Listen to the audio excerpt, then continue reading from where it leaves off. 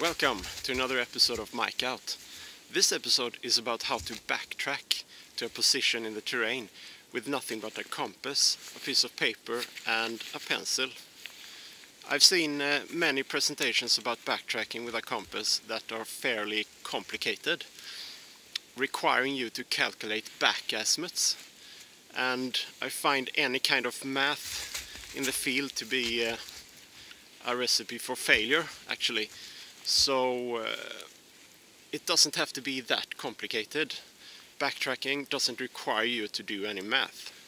So the method I'm going to present here doesn't require any calculation and you're going to be able to backtrack a set of waypoints to the position where you started.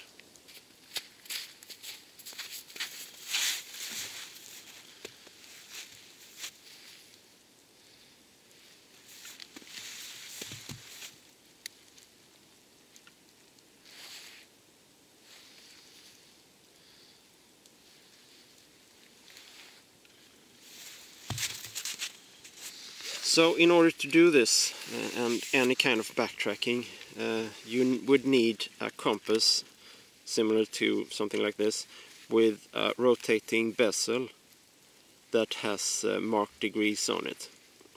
If you wanted to go in a single direction, uh, a single bearing or a single azimuth, I will use azimuth and bearing interchangeably because unless you're in the US Army, azimuth and bearing is the same thing.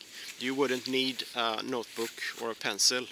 You would set your compass and uh, you would turn your bezel ring uh, on your compass and uh, put the the uh, red, or in this case the orange needle in the red part, in the shed, red in the shed as, as they say. Then you would just walk in order to go back the same distance you would have to measure that distance somehow. And uh, the easiest way to do that is to count your steps. And uh, an even easier method is to only count one uh, of your foot's step. Uh, in my case I would count my left step. So every every step I take would be one added to the count now if I'm only going one waypoint, one direction, uh, I'm hopefully going to remember that pace count so uh, I can reverse it on the way back. In order to go back to where you came from, you don't have to uh, do any calculations, you just uh, turn the, the compass around, so to speak. Uh, and instead of putting the red in the shed, you put the southern part of the needle, or the white part of the needle, in the red shed. So um, the only thing you need to uh, remember is uh, to put the southern part of the needle in the red shed instead of how you normally would do it. And that way you get the back azimuth. So where does the notebook enter the picture? Well, let's assume that we want to go back to this position. Uh, let's assume that this is our campsite or another position uh, where you want to go back to and you want to explore the area. Uh, what, when you normally explore an area you probably don't want to uh, just go in one direction and then go back again. You could obviously go one direction and then go back again and then from your campsite go another direction and then go back again but let's make this more complicated. If uh, you're going out somewhere and uh, by some reason you would want to change direction and go another direction, then you would have to uh, make a note of the bearing that you took when you went to the position where you want to change direction and you would make a note of that bearing in this case uh, 148 degrees. So I'll put down 148 degrees. And uh, when I want to change direction I also make a note of the pace count the number of uh, steps I took to get there. Let's assume that we want to go in this direction. We would obviously put uh, the red in the shed and head out there. But before we head out we could make a note of the bearing we're heading. So this happens to be uh, 318 degrees. So then I would make a note of 318 degrees.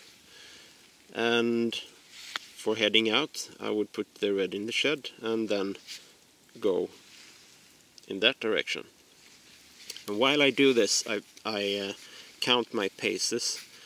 And when I reached a position where I want to change my direction, before I uh, do anything else, I would have to put down the pace count. Let's assume that uh, the pace is 50. The thing here is that if you would be running when you're pace counting, you would have to do the same when you're backtracking. You would have to run on your way back, otherwise your pace count will be off.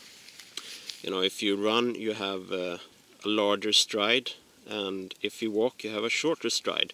So the pace count will uh, reflect the uh, the pace you have. So if you run, you would have to run on your way back, and if you walk, you would have to walk on your way back. So we reach another position, and here we have all the data necessary to take our new bearing. Let's assume that we want to instead uh, go like that and uh, then we we shoot at some feature in this direction and we put the uh, the red in the shed and then we get our new bearing and in this case it's 220 degrees so we put make a note of 220 degrees. So that's our next waypoint so to speak. And then we're heading in this direction for a while. And after a while we decide that we want to change direction again. And obviously I have my pace count because I've counted my steps going out. Before changing the direction I would put the new pace count uh, that it took to get to this waypoint. And now I'm set to uh, take another bearing. Maybe we head in that direction which uh, uh, set it up like that. So the red in the shed and now we can read the amount of degrees we have to our next position. So that's 120 degrees and then I make a note of 120 degrees like so. That's my third waypoint. So now I'm heading uh, in this direction and after a while I decide that oh it's time to go back. Then I make a note of uh, my pace count to this waypoint. Let's assume that uh, it's 80, just like that. So when returning from this position, I would obviously have to go in the reverse order. So this is a azimuth I had when I went to the third waypoint and the position of the third waypoint is 80 steps from my previous waypoint. So in this case I would have to go from this waypoint to that waypoint to this waypoint. And when I'm here, or after 50 uh, paces, I would have returned to my initial starting position if I've uh, done this accurately and correctly.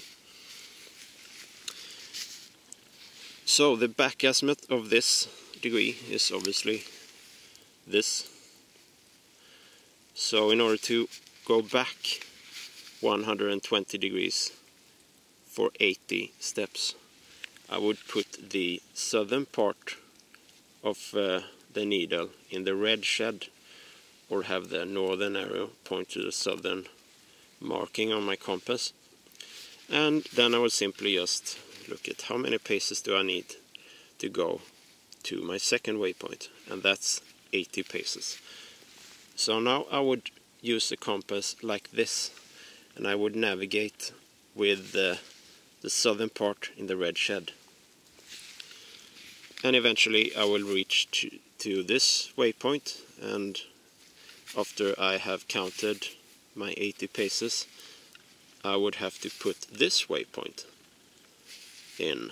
And now I don't need to do any calculation. I just rotate it until the compass bezel says 220 degrees.